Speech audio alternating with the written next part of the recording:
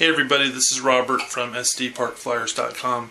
I've shot a lot of videos uh, that showed you guys how to do basic building of a EPP kit, but one of my subscribers actually sent me an email saying, hey, you've never shown a video how you install the servos and these little um, stick mounts on your planes.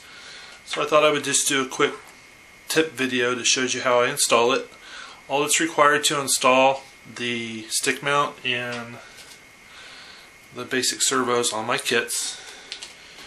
You're going to need a brand new or a sharp X-Acto knife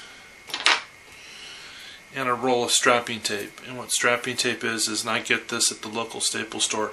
It's the clear tape that has the fiberglass strips in it. So let me uh, put the camera in position and let me show you how I install it this is really fast and simple, so watch part two. Okay, so the first thing I'm going to show you how to do is how to install the motor mount. Um, this is normally done when the plane is basically finished and one of the last things you're going to do is put in the motor mount. So to install it's really simple.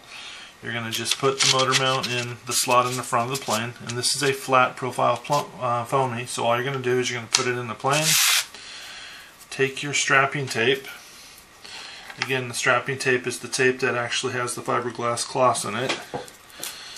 And what I'd like to do is I'd like to just lay out lay a, lay, lay a strip down here on the table here. And what we're going to do is we're going to cut this into some like two inch strips. At least four strips are required, so Cut your tape into about four strips.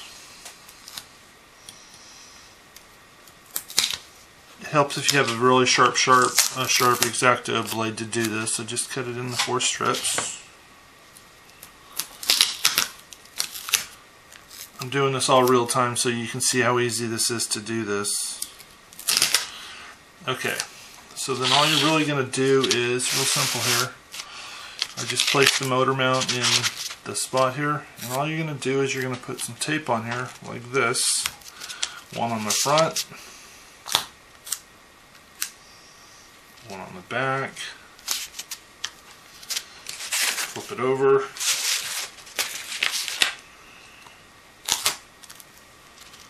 one on the front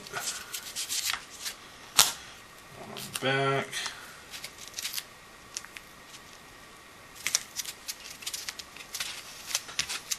that's it. It's all that's required to install the motor mount. Four pieces of tape. Doesn't look like much, but since there's a lot of surface area here, that actually keeps it locked in place. Okay, the next thing we're going to do is we're going to install a servo. Now what you need to do on the servo, because there's a wire here, when you're trying to push the servo into the foam, the wire is going to hit the foam, so you need to put a little cut in your foam where the wire is going to go to give it a little bit of release. And then you're going to just put your foam, put your servo into the foam like this. And then all you're going to do to install it is put a piece of tape on one side. All you got to do is have enough tape here to cover the servo and about a half an inch on the foam on each side. Don't cover up where the control horn is going to go because you want free movement and then flip it over. And then grab yourself a little piece of strapping tape.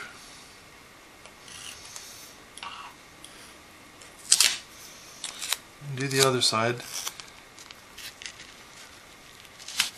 Just like that.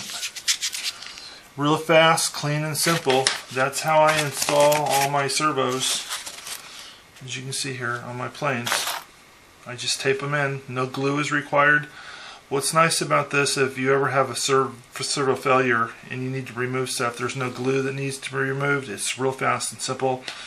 You can change out servos really quickly. So once again, I just tape in the stick mounts using the strapping tape and I use the same method for the servos.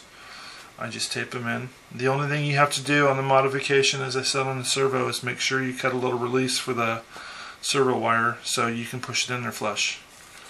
I hope that helps. If you have any questions about this video, please drop me a line. Please rate this video down in the bottom. Let's see, we're back here down in the bottom. Please rate the video, give it a thumbs up. If you want to see other videos in the future, please let me know. Thanks again.